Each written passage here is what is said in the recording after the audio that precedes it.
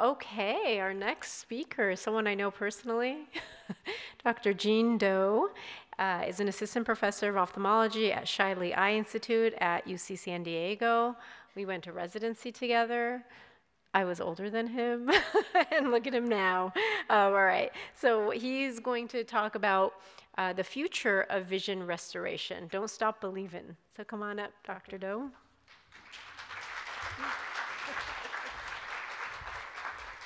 Thank you, Dr. Bedrood. Uh, I am now older than Dr. Bedrood, so we're, we're, all good.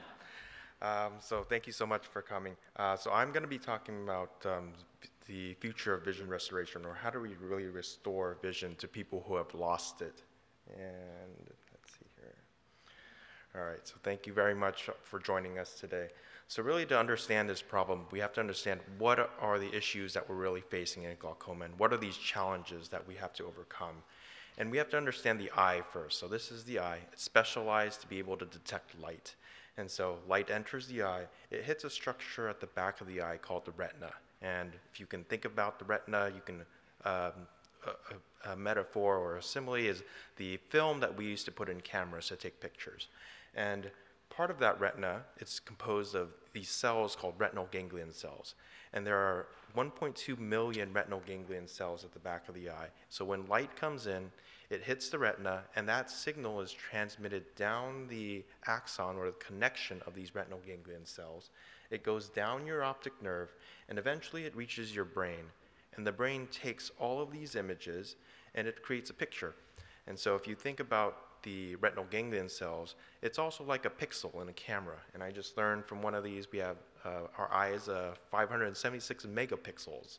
So if you were to then take all these retinal ganglion cells and put them together, it really provides that perception of the world that we see. And so when you get a full collection of retinal ganglion cells, you get that full perception of the world. The problem with glaucoma is we have an injury that damages these retinal ganglion cells, and these retinal ganglion cells die. As they die, we lose our ability to perceive that part of the world.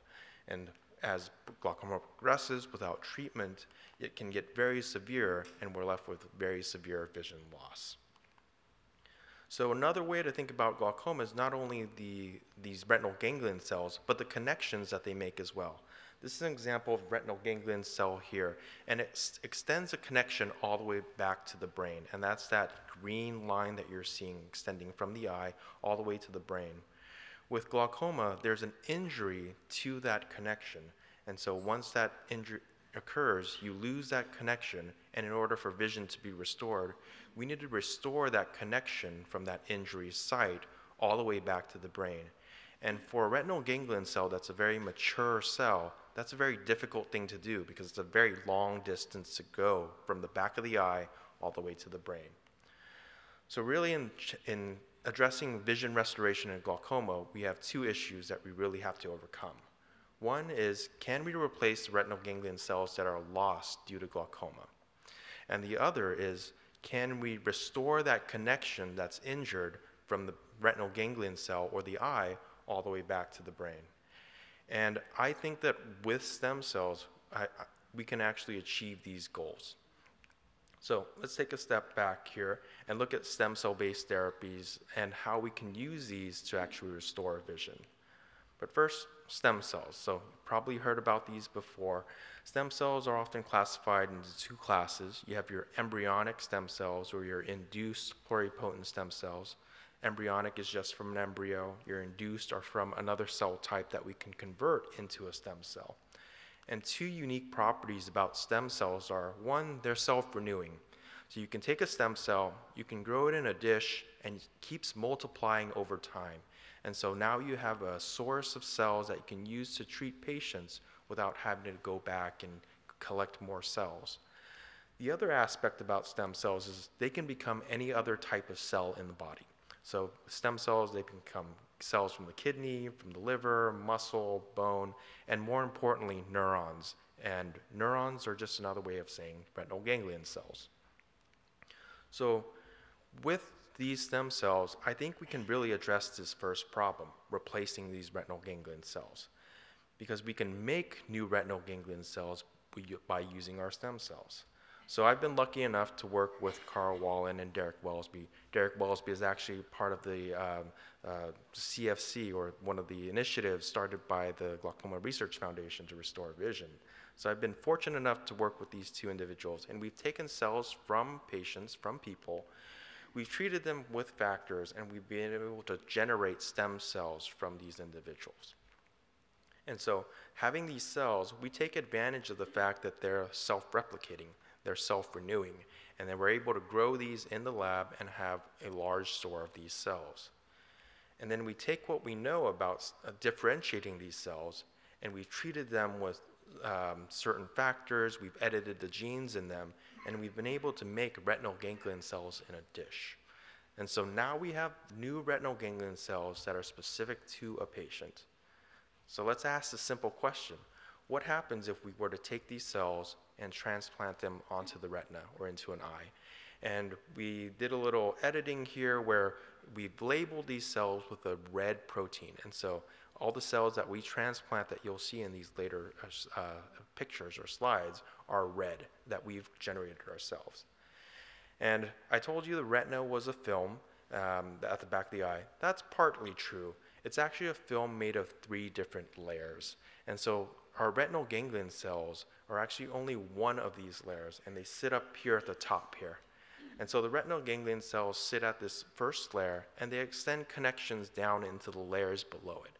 So if we really want retinal ganglion cell transplantation to work, we need to be able to integrate these cells and have them make those connections. So we first started off, we injected these cells into the eye, or transplanted them onto the retina, and this is what we got. Um, these are red cells here you're seeing in the middle. Uh, the sides are cross sections of these.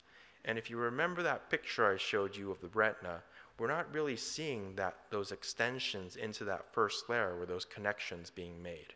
And that's because there's this blue layer, this barrier to these cells getting into the retina called the inner limiting membrane. Um, and that's that, it's just a very thin film of, uh, of proteins that stop these cells from integrating into the retina.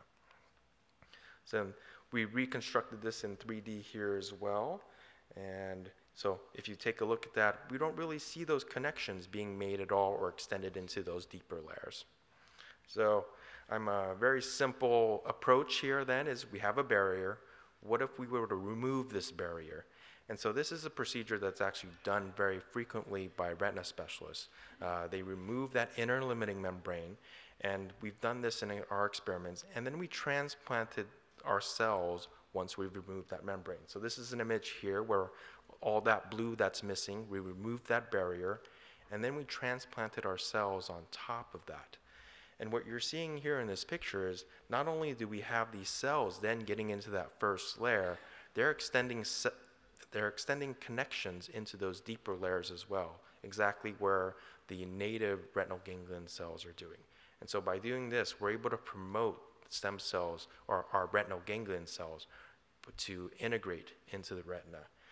And this is a 3D reconstruction here. Remember that other image um, in your mind. And here we're seeing some of those connections growing deep down into the retina. Um, so that's, for me, very exciting. We're getting these cells not only to survive, but they're growing and making these connections that they're supposed to make here.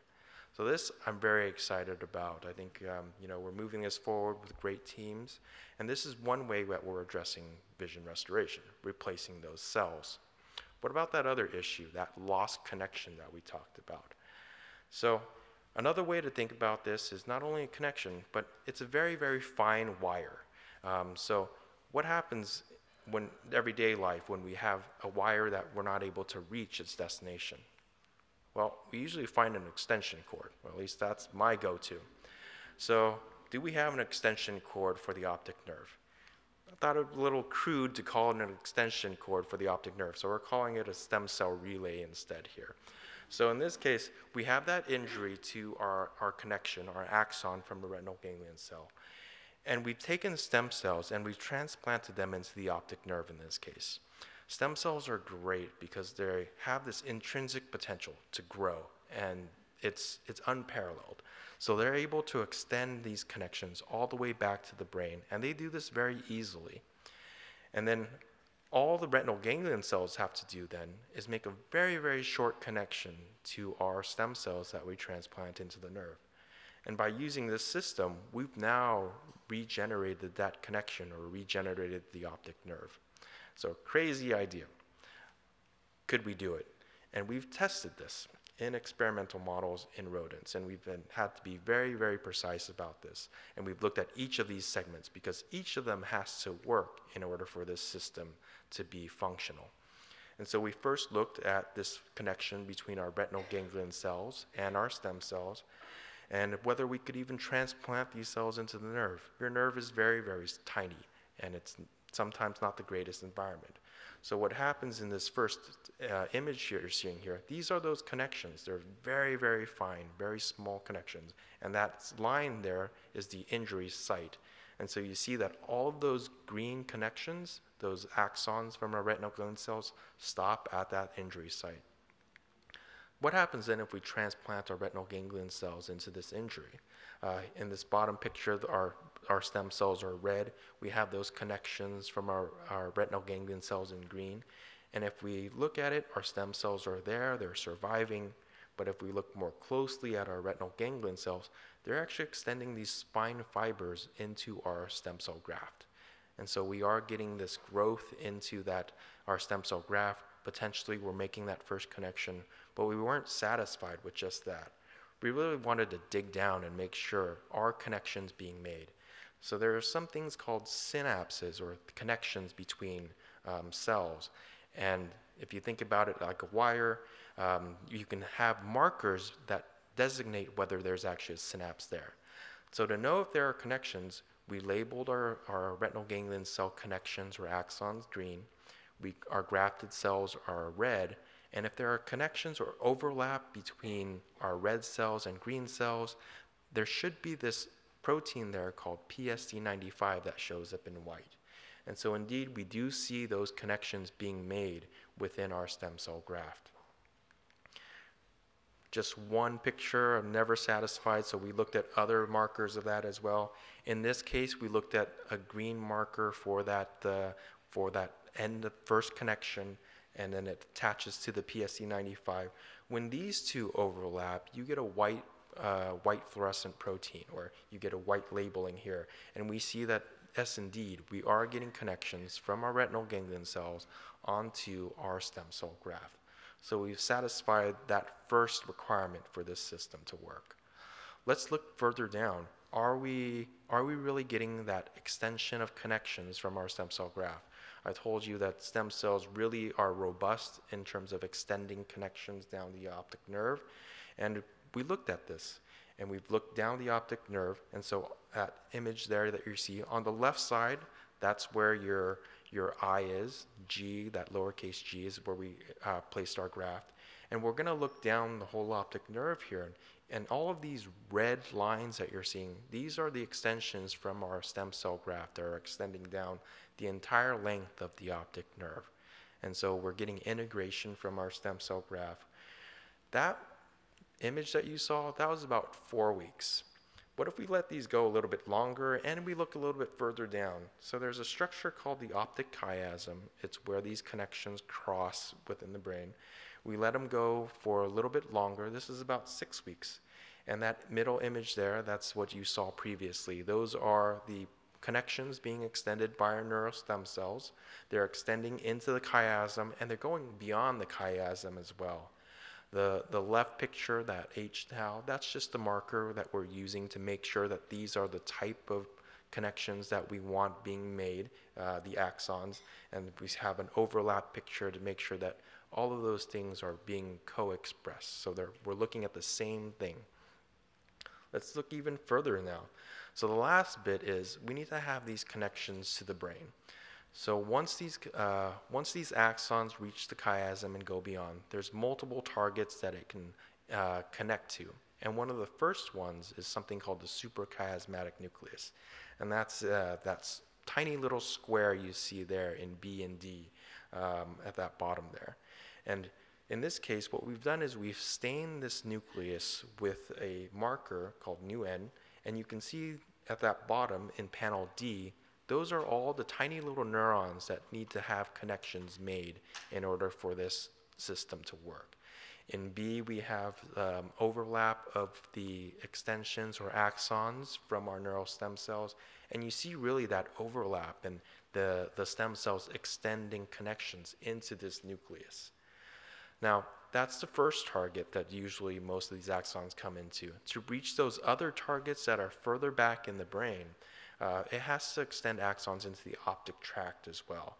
And so that's the example that we're seeing in E there. That's the optic tract. It's extending to further targets and even further back in the brain. And so we're actually seeing extension there. And this is only about six weeks. Um, in the grand scheme of things, six weeks for neural stem cells, very, very short amount of time. These cells can continue to grow and mature three months, sometimes up to a year. And so we're, we're testing these other other uh, factors and other behavioral, functional things. You know, how do you test visual function in a rodent model? We have, we have tests for that. I wish we had an app for that, but we don't. We'll, we'll do other tests instead. So looking at these challenges, I think they seem daunting, but I think we can replace retinal ganglion cells. I think we can really restore these connections. Stem cells are one way of doing that. And so looking at this, where do we go from here? Um, there are still other things we have to, uh, to figure out in the system here. One of these is guiding these connections. I showed you just half of the eye, or half of your eye, so just one eye. But really you have um, one eye, and it extends connections that go to the right side of the brain and the left side of the brain. So we have to figure out how to guide these connections to the appropriate location. Now, the other is we've done these uh, experiments in rodent models, but if we look at rodents compared to humans, in the mouse, that's about 8 millimeters, very, very short. We go to a rat, which is a little bit bigger, that's about 20 millimeters.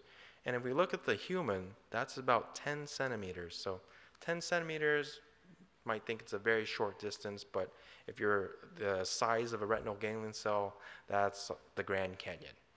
Okay, so we'll have to really see if we can get more robust growth. So one other thing, we're talking about these connections, but let's be a little bit more ambitious. How else can we, can we use this neural stem cell relay? And I think one possible application might be whole eye transplants. Not a new idea, you know, 2002, Minority Report, right? Actually, it's even before then people have thought about whole eye transplants. But I think we're getting to that point where it may be a possibility. This is a publication from 2016 where we've actually looked at some of those parameters and how we might be able to do this in human patients. Or, and so I think we are getting there. And then lastly, we you know, there are options still on the table. I mentioned the retinal ganglion cell transplants. We can correct some of the deficits in the genes that are um, mutated that predispose someone to glaucoma and potentially uh, make better retinal ganglion cells as well. So I have to uh, say, you know, I'm just a small town boy. I don't really live in a lonely world. Actually, sometimes I like my alone time, but you know, I, I think we really do have have made great progress here. Uh, so don't stop believing. Um, we're working for it, and we really want to be able to provide uh, a therapy. Um, I have to acknowledge uh, my collaborators, Dr. Weinreb as well, uh, lead Great Institute, and obviously the Glaucoma Research Foundation. I was a recipient of the Shaffer Grant here, and that has made a world of difference in terms of the work that you've seen here and the work that's going to continue. So thank you very much.